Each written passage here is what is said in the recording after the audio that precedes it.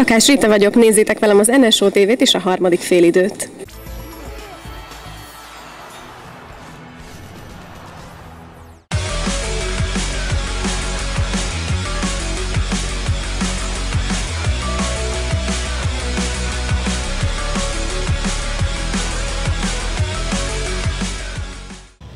Nulladik félidőzünk megint, jó napokat kívánunk mindenkinek a napos nyári Budapestről.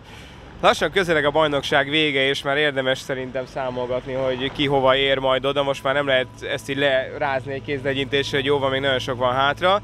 Hagyj kezdjük a szombattal, mert hogy együtt ballagunk majd át a távoli Szusza Ferenc stadionba az Újpest Honvéd meccsre. Az Újpest bajnokságának most nem azt mondom, hogy vége, de ki, kicsit azt mondom, hogy most már olyan mindegy, hogy mi történik a következő három fordulóban. Viszont a Honvédnál pont azt számogattuk, hogy győzőképpen annyi dolguk van, hogy ne szerezzenek kevesebb pontot, mint a Fradi, és akkor ők És lehetnek a hát negyedikek. Igen, és igen. Ö, szerintem nekik ez most élethalál. Tehát ők avval kalkulálnak, voltam a héten náluk forgatni, hogy Hát a a, Honvédnál. a Honvédnál, hogy a, a Győr már bajnokként ö, utazik majd jövő héten hozzájuk, és ö, a, annyira elhúzódik az egész hetes bulizás, hogy azt a mérkőzést már nem veszik majd annyira komolyan, tehát hogy ott meg lesz a három pont, van egy Eger mérkőzésük még, és van egy haladás mondjuk, ami azért az még nyilván a nehéz kategóriába tartozik, de ez most szerintem a, a vízválasztó mérkőzés. Tehát, hogyha ezt megveri, megnyerik, akkor nagyon komoly esélyük van. Tehát az nyilván nem vitás, hogy ez a meccs ez a, a Honvéd számára ezerszer fontosabb, ha komolyan gondolják, hogy el akarnak indulni, de miért ne gondolnák ezt komolyan? Ö, nagyon úgy festett, és még Márko Rosszitól kérdeztem is, mert mondta, hogy még nem lehet tudni, hogy marad-e jövőre. Mondom, de hát ha egy munkát elkezdett és összejön az Európa Liga, akkor, hát akkor azt be is kellene fejezni. Erre mondta, hogy na jó, de hát ugyanez volt vele tavaly nyáron, hogy Csupka Attila elérte az Európa Ligát a csapattal. Ő meg hálásan köszönte neki, és elindult az Európa Ligában belül, tehát hogy egyetlen nem azt jelenti, hogy azért, mert ő eléri a csapata az Európa Ligát, akkor neki kell ezt a dolgot befejezni. Minden esetre tényleg nagyon elszántak, én úgy éreztem. A, a két fiatal Vécsei, meg, meg Nagy Gergővel beszélgettem, akik összehozták azt a múltkori gyönyörű pápa elleni gólt. Nagyon komolyan gondolják ezt a, ezt a bronzérmet, sőt, Kemenes Szabi azt is mondta, hogy most már itt az ideje, hogy valami érmet szerezzen a Honvéddal, és szeretnék ideni a vitrínbe, úgyhogy igen erős motivációjuk van.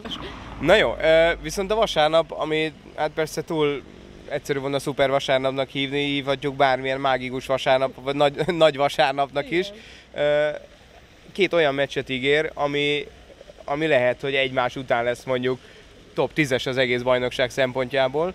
Ö, Ugye kezdődik a, a Debrecen Vidivel, aminek önmagában is van tétje, meg ugye úgy is van tétje, hogy ha a Debrecen megveri a videóton, akkor a Győr bajnok lehet a Fradi ellen. Igen, ez van. De- sok ismeretlenes történet. De, de, de én azért azt mondom, hogy, hogy egyáltalán meg biztos abban, hogy a Debrecen ezt meg tudja tenni, főleg úgy, hogy nekik a kupa döntővel valamelyes lekerült a tehervállukról. Hát igen, de már csak a presztízs, tehát nem, tehát hogy egy, egy nyere, vagy veretlenül megnyert bajnoki cím után azért csak jó lenne, meg illene ott lenni a dobogón. Nyilván a videótonnak ilyen szempontból sokkal nagyobb a tét, és azt gondolom, hogy ezután a Magyar Kupa elődöntő után kellően felpaprikázva érkeznek a következő rangadóra, úgyhogy bár nyilván nem Anya Nikolics nélkül, am- ami azért egy, egy fontos tényező, de összességében elképesztő meccs volt, én láttam a tévében, nem irigyeltem Fazekas Bözsit, aki ott állt a pályaszélén abban a pillanatban, szóval biztos, hogy, hogy mondjam, felpaprikázva mennek majd. De hát ugye a harmadik félidő előtt majd ezt a bizonyos Győr Fradit nézhetjük meg. Nem is tudom, hogy minek szurkoljak, mert az az igazság ilyen kis műhely titkot elárul, vagy egy picit bajban vagyunk a harmadik félidőkkel, mert nyilván amikor majd a Győr bajnok lesz, annak szeretném megadni a módját, és akár a helyszínről rögtön sok-sok interjúval szolgálni, csak amíg nem tudjuk, hogy ki a bajnok, addig magunk se tudjuk, hogy most akkor milyen műsor fog készülni. Tehát gyakorlatilag első nekifutásban nagyon könnyen lehet, hogy a Győr megveri a Fradit és a Debrecen a Vidit, akkor az első fél óra rögtön majd a pálya mellől Pesgőfürdőben jön. És gyakorlatilag két forgatókönyv kell, hogy készüljön, mert mindez majd csak vasárnap fog kiderülni. Lehet, hogy már fél hétkor, de lehet, hogy csak fél kilenckor, három perccel az adás előtt, úgyhogy nagyon izgalmas kis napnak nézünk elébe szerintem. Újjávarázsolt környezetben. Más állapotban. Jó kedvel és szakértelemmel. A bajnoki fordulók után várjuk Önöket! Harmadik félidő. A Sport TV futballsója március 3-ától élőben a Sport 2-n.